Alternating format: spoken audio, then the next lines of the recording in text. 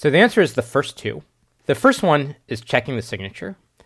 We're checking the signature here by decrypting using the public key. That verifies that this message was created by someone who knows the private key.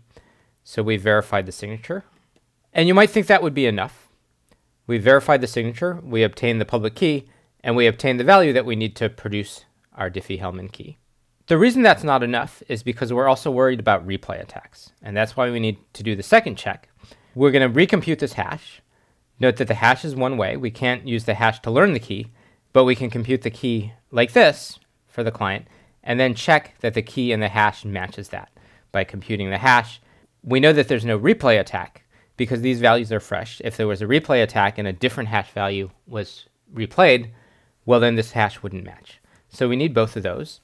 The third check doesn't make sense, and this uses YC as well as XS, which is the secret value of the server. If that was revealed, that would break the protocol.